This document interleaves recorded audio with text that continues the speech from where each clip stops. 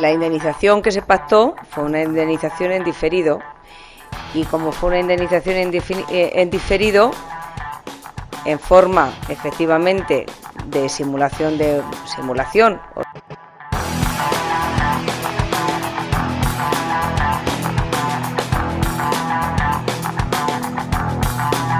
El informático del Partido Popular declaró ante el juez que borró, rayó, rompió los discos duros de Bárcenas, los borró 35 veces. Eh, lo que dice el informático actual del partido es verdad, claro que es verdad, y lo ha dicho delante de un juez. Estaría bueno que no fuera verdad. Cuando se pronuncie en este hemiciclo la palabra delincuentes, ustedes se callen.